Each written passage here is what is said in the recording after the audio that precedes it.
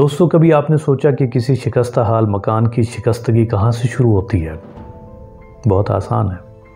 पहली टूटने वाली खिड़की से। शहर में पड़े कचरे के ढेर किन जगहों पर बनते हैं? यही जहाँ पर सबसे पहले किसी ने पहली बार कचरा फेंका। ये टूटी हुई खिड़की या ब्रोकन विंडो थ्योरी है, जो कि क्रिमिनोलॉजी की साइंस का हिस्सा है। सबसे पहले इसको उन्नीस सौ बयासी में पेश किया गया और नब्बे की दिहाई में न्यूयॉर्क में अमन कायम करने के लिए इसका सबसे पहली बार इस्तेमाल हुआ। मार्च उन्नीस सौ बयासी में लिखे आर्टिकल में लिखा गया कि एक बिल्डिंग में खिड़की का शीशा टूटा है, इसकी मरम्मत नहीं कराई गई। इससे एक नादनस्ता पैगाम गया कि ये एक मामूल की बात है। कुछ और खिड़कियाँ तोड़ दी जाएँगी, फिर कोई अंदर ही घुस जाएगा, और अगर ये खाली है तो लोग रहने की जगह बना लेंगे।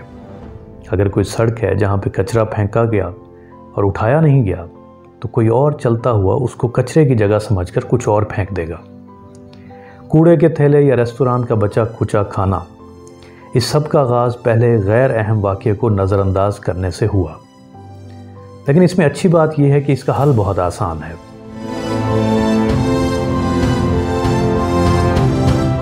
खिड़की की मरम्मत कर दी जाए, सड़क को रोज़ साफ़ कर लिया जाए मसला बढ़ेगा नहीं और इज़्ज़तदार लोग ऐसे इलाके छोड़ के नहीं जाएँगे।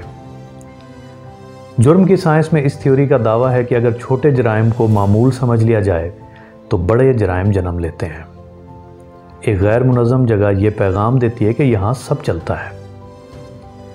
न्यूयॉर्क का सबवे सिस्टम इस गुंजान आबाद शहर में ट्रांसपोर्ट का ज़रिया है। आज हर कोई बिला खौफ व ख़तर इस पर सफ़र करता है, लेकिन सत्तर और अस्सी की दिहाई में ऐसा नहीं था। जराइम बहुत ज़्यादा आम थे। ट्रेनों के डब्बों और स्टेशन पर वॉल चौकिंग हर तरफ़ थी। विलियम ब्रेटन जब इस इदारे के सरबराह बने तो इसको ठीक करने का सोचा गया। ब्रोकन विंडो थ्योरी पेश करने वाले कैलिंग को कंसल्टेंट रखा गया। इसका आगाज़ डब्बों को साफ़ करके किया गया। बिल्कुल साफ़ शफाफ डब्बे। और अगर किसी ने किसी डब्बे पर एक भी जगह नक्श निगार बनाया तो इस डब्बे को फौरी अलग कर लिया जाता और इसको साफ़ करके ही वापस लगाया जाता।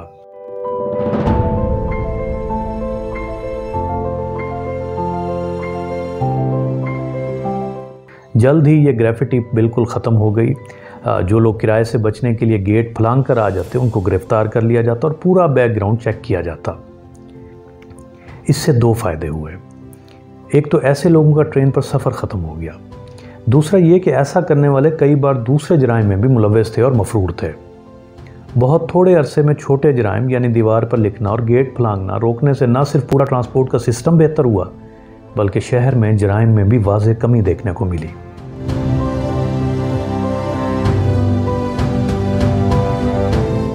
लेकिन सोशल साइंस में इसको अलग करना है कि क्या ये बेहतरी इस पॉलिसी की वजह से है या इसके साथ साथ कुछ और भी अवामिल थे। इस तजर्बे को नैदरलैंड की यूनिवर्सिटी ऑफ़ ग्रोनिंगन ने कई कंट्रोल तजर्बात करके दोहराया। दो अलग इलाकों में गंद फेंकने वालों के साथ मुख्तलिफ़ रवैया रखकर। इनसे इस थ्योरी के हक में सपोर्ट मिली, नतीजा ये निकला कि अगर कचरा फेंकना रोका जाए तो इस इलाके में चोरियाँ भी कम हो जाती हैं।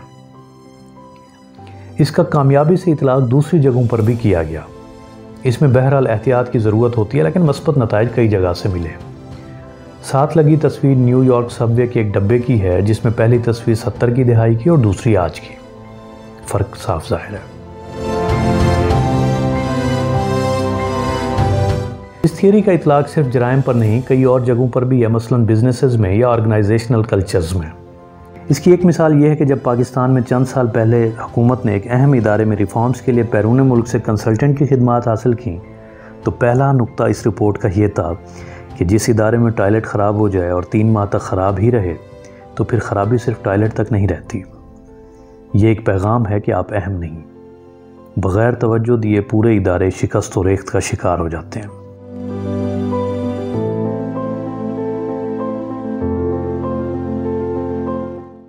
दोस्तों, अगर आपको ये मुख्तसर वीडियो पसंद आई है तो हमारी एक और वीडियो जिसमें banana republic refrigerator cold storage का ज़िक्र है कि बड़े मुल्क, छोटे मुल्कों की मीशत और सियासत पर कैसे असरअंदाज होते हैं और ये बनाना रिपब्लिक क्या होती है, ये भी यकीनन आपको पसंद आएगी। अभी देखना चाहें या बाद के लिए महफूज कर लें जस्तजू के सफ़र पर निकले दोस्तों, आपके वक्त से कीमती कुछ भी नहीं।